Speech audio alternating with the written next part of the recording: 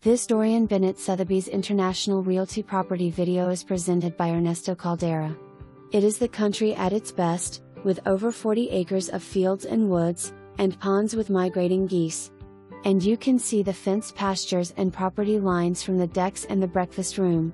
This Henleyfield area of southern Mississippi is as picturesque as the English countryside and hilly and green and a very desirable second home and commuter community for New Orleans. And if you have ever wanted an almost maintenance free home, this might just be it.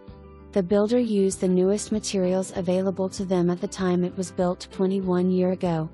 It has a traditional exterior with an exciting open and two story vaulted interior, with porches and decks on all sides overlooking the ponds and fields, and an attached huge 26x28 two car garage with a wonderful game room above it.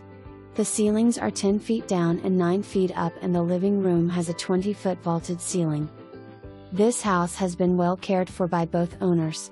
Every aspect has been carefully planned and professionally executed. It was built to please and to provide enjoyment, and for protection and safety as well. There are oversized closets throughout the house, a walk in pantry, and generously sized utility and laundry rooms. The heat and air is a highly efficient geothermal closed loop system. It has a 25 kW Kohler generator to carry the entire house through power outages. It was built with massive concrete footings and slab and 6 inch studs. There is a 40x60 metal barn, 2,500 lineal feet of three rail white vinyl fencing creating three pastures, two enormous spring fed ponds, 20 acres of woods with nature trails, and even a huge storm shelter under the house.